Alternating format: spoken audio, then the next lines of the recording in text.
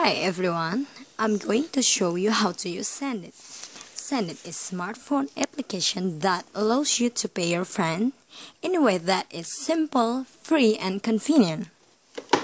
First, after you install Xendit, you open it up. Then click Get Started. Choose Create Account. Then enter your name, for example, Clara last name Liagina, and put your email address, your phone, put your password, and tap the sign up. After that, the view will be like this. It shows you the amount of money on your wallet and the transaction that you have made. Click the top left button. There will be your name and email appears. First, click deposit to deposit your money into your Xendit wallet. Put the amount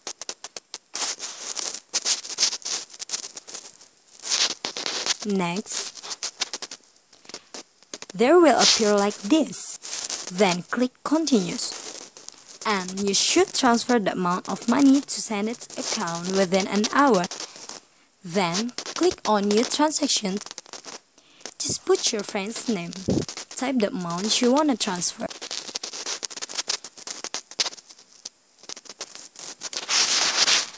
And write what it's for.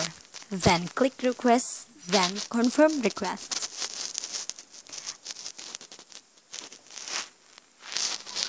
Lastly, if you want to withdraw, just click withdraw, put the amount